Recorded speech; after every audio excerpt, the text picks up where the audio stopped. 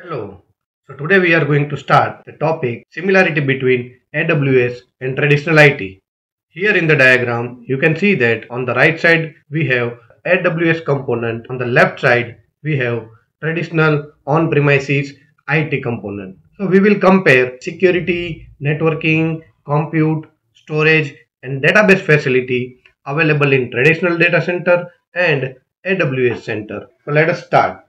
The first of all, you can see that AWS Security Group, Network Access Control, and Identity and Access Management are similar to the firewall, ACL, and administrator. Second point, here we can see that Elastic Load Balancing, Amazon VPC, similar with the router, network pipeline, and switch of the traditional IT center.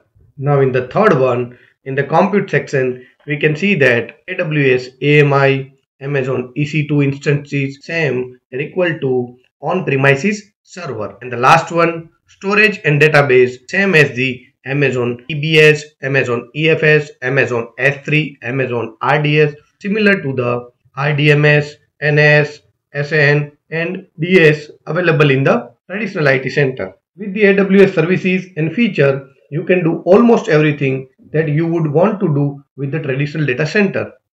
Thank you.